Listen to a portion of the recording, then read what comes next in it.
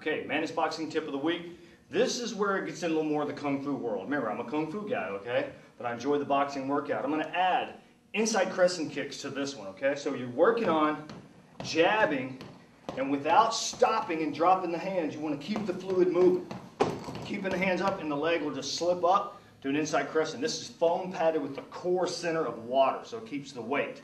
So you're jabbing, working on your jabs we talked about earlier, the knockout, and then outside crescent kick. Inside crescent kick. This is the bag I like to work on the legs with. Good push kicks.